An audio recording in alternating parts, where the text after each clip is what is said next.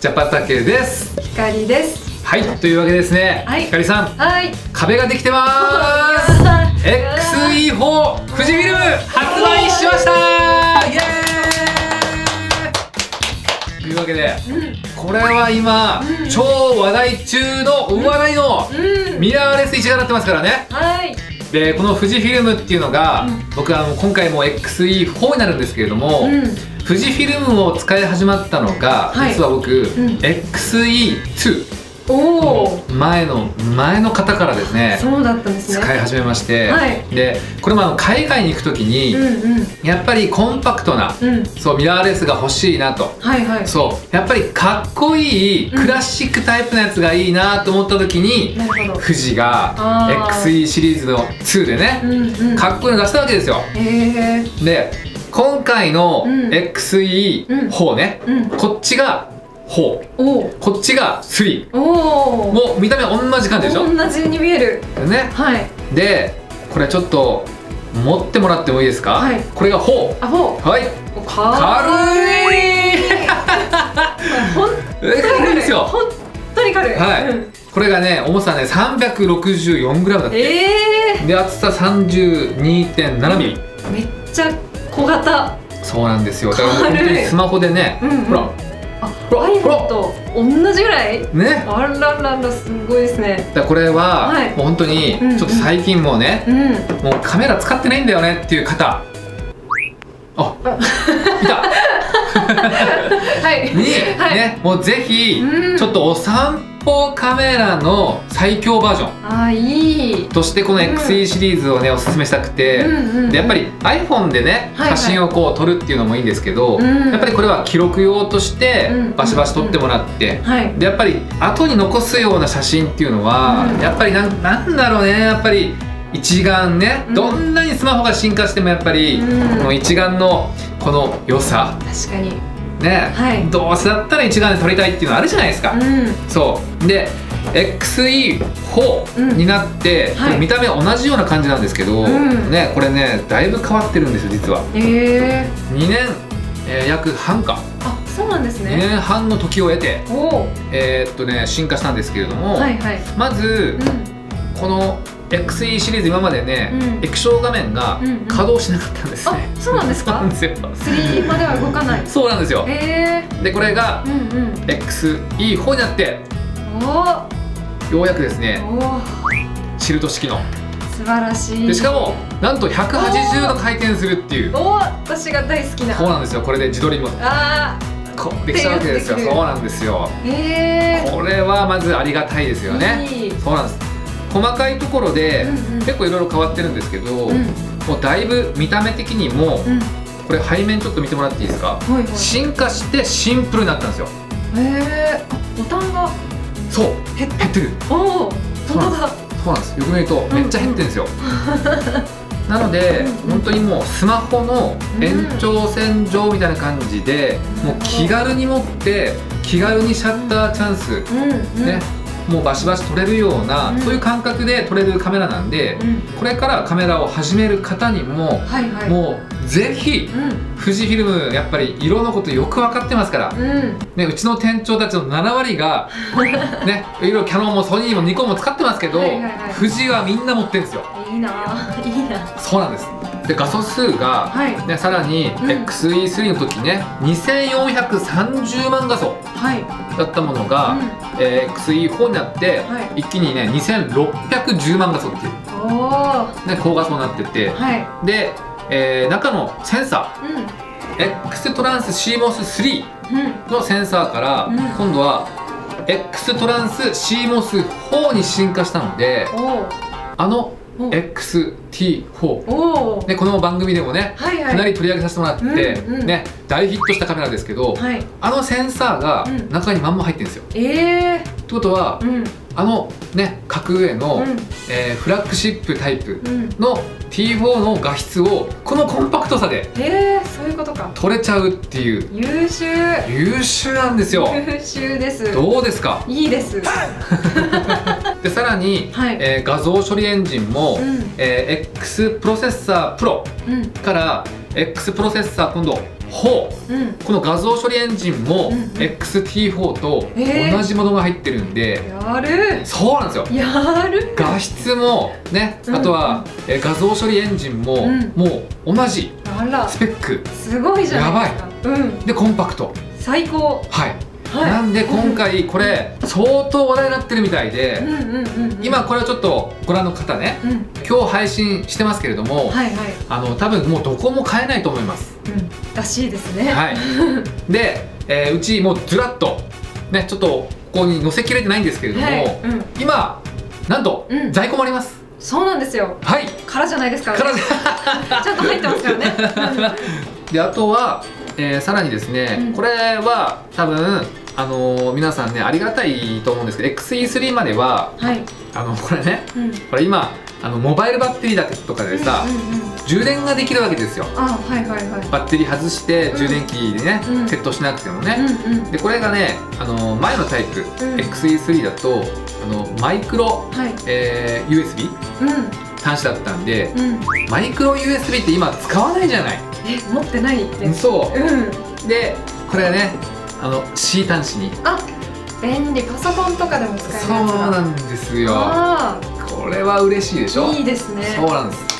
でそれからですね、はい。バッテリー。うん。バッテリーは同じ。ね、うんうんこのままのタイプで使えるようになってるんですけど、はい。バッテリー容量もうん。かなりちょっと上がってまして、おー。えー350枚、うんうん。ね、取れる内容だったんですけれども、うん XE4 からなんと一気にうん。460枚、おおすごい。100枚以上えだからミラーレスのね、うん。やっぱり利便性っていう部分ではうん。いいんですけど、うんうんやっぱりバッテリー問題っていうのは常につきまとうんですが、うん。もう110枚プラスしてれば十分でしょう。それからですね、はい。えー高速連射になってくるんですけれども、うんうん。やっぱり動き物とかね、うん。撮ったりするときに、はい。えー連射性能っていうのが、うん。XE3 が、はい。えー連射、えー秒間14コマ。うんだったものが、うん。XE4 ではい。一気に20コマ取れるでしょ、おー すごい。で XE2 の時は、はい。僕やっぱり使ってて色味もいいしコンパクトだし、うん。もう大好きな今でも使ってるカメラなんですけど、へはい。あのーやっぱえりうん。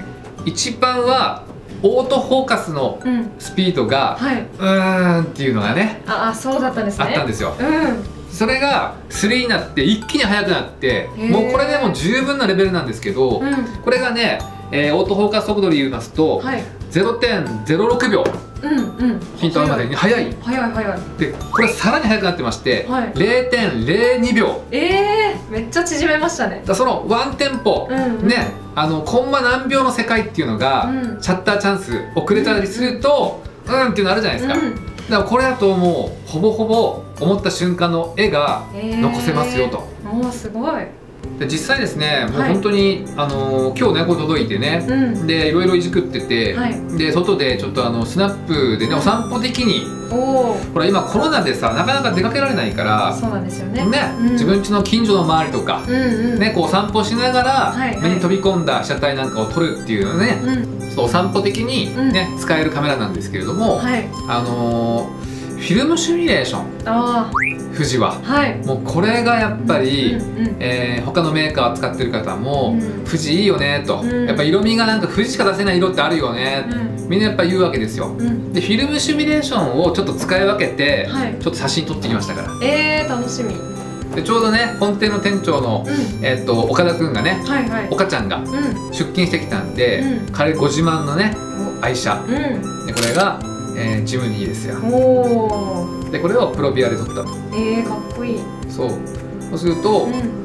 このプロビアで撮ってこれは普通の写真ですよね、うんうんうん。でフィルムシミュレーションで、で T4 からはい。搭載された、うん。また新しいフィルムシミュレーションも XE4 には入ってるんですね。へえクラシックネガ。うん。で撮ると、うん。こんな感じでちょっとエモくなるんですよ。確かに。はい。でこれだとメリハリのあるうん。階調とサイドを抑えた深みのある色で立体的に表現されてますと。かっこいいですね。車の感じが。そうなんですよ、うんうん。でこれがエテルナブリーチバイパス。でこれだとね映像作家に支持される銀残しっていうね、ええー現像効果を再現した、うんうん。えー重圧感のある写真が撮れますよ。おー。でもってこれがエテルナって言って、うん。ね、映画用フィルムを再現した、フィルムシミュレーションになっていて、うん。でサイドは抑えめで非常に柔らかな、えー、回調が特徴になってますと。同じ写真でもこんなにうん楽しめる。楽しめるわけですよ、うん。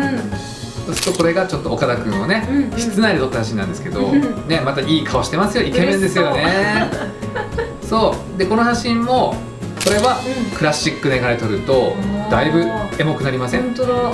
色味が全然違う。ね。うんうん。でこれがエテルナ。うそしてだいぶ柔らかくなりますよね、でブリーチバイパスで金残しだとこんな感じで、んうんうんうん。そうなんですよ。撮ってて楽しいのがうん。フィルムシミュレーション、楽しそう。これが普通の、えースタンダードプロビアのモードになってます、これがクラシックネガ。うん。でエテルナ。うんうん。で銀残しブリーチバイパス。で最後に かっこいい。ね岡田君のオフショットですよ でこれもプロビアで撮ったものででこれをクラシックネガにするとこんな感じでいいよね。エモいよね。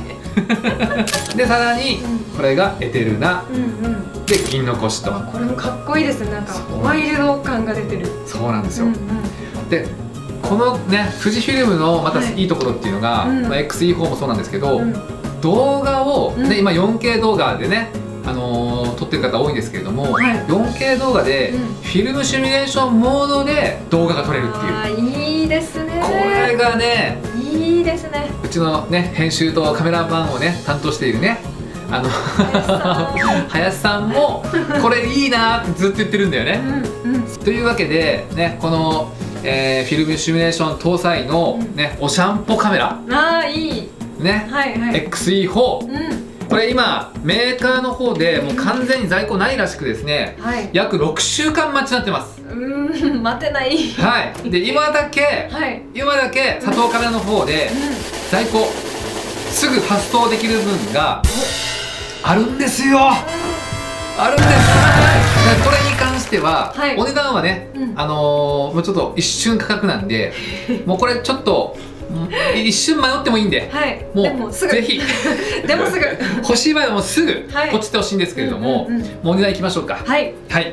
こちらのねうん。XE4、えーまずボディの金額からいきますね、ボディ。うん。うんお色はブラックとシルバーがあります、はい。お値段。はい。まずこちら。うん。10万円切りますからね。おおお値段なんとはい9万7300円イエーイ。これ分かってる方は分かってると思うんですけれどもこれも本当に逃げ切りごめんの金額になってますので。そうですよ。はい。でそれから、はい。レンズキットね、うレンズキットは、はい。こちら15から45うんうんうん。の、えーズームレンズキットになってます。はい。でこちらはなんとこれね電動式のズームレンズになってるんで、えー動画を撮る場合にもね滑らかなズーミングが可能になってます。ってなる。そうなんです。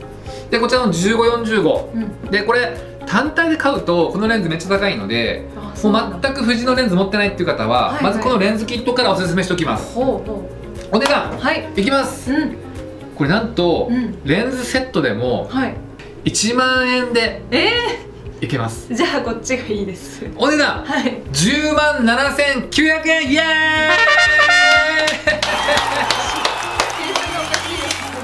そうなんですおかしい。ななので、はいね、うん。まあこのズームレンズね、うん。電動式なんで、はい。ね、レンズ持ってるっていう方も、うん。富士でね、うん。持ってるって方もまあキットで買っといてもらってもいいかなとうん。うん。思います、あとね一応ねこれちょっとオプションなんですけどはいはいはい。これね。うん。え？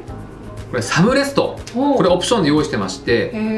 ここのね、うんストロボの芯のところにうん。これをカチャッとお。はめてもらいますとほらかっこよくない？本当だ。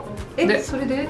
これでシャッター巻くわけじゃないからね。あ このグリップ感がーなるほど。ホールド感がめちゃめちちゃ持ちやゃすくなりました。そうなんですここに親指引っかかるんだ。はあこれはいいですね。いでなんかレトロ感がさらに増すでしょ？か確かに。っこいい、うんうんうん。そうなんですでこのサムレストがはい。アルミ削り出しになってるので、うんうん。本当にちょっと高品質みたいなうん。感じになってますからね、そうおしゃれなんでおしすよゃれです。でこれが、うん。ね、メタルハンドグリップになってます。うん。でやっぱり XE3 の時には、はいはい。ね、このグリップの部分がうん。ちょっとこちですねそう。なんで握りやすいみたいなのもあったんですけど、うん。完全に XE4 はもうフラットになってますから、うんうんうん。でこれはこれでまたスタイリッシュで、うん。僕は好きなんですよ。はいはい。そう。でこれをつけてもらうとちょっとやっぱりホールド感が欲しいよっていう方はあこれにあね持ちやすそう。はいどうぞ。あやっぱりいいですね。サムレストと、ねうんうん。えーメタルハンドグリップ、うん。この組み合わせがあるとめっちゃ持ちやすいです。しかも重さも全然変わらない。変わらない、うんうん。そうなんです、えーこちらが気になる方は、うん。ね、概要欄の方にも載せておきますので、はい。ぜひご購入の検討にはい。していただければと思います。お願いします。はい。というわけで、はい。今回 XE4、うん。もう数量限定になってますので、もう早い者勝ちになってますので、はい。ぜひよろしくお願いします。またねー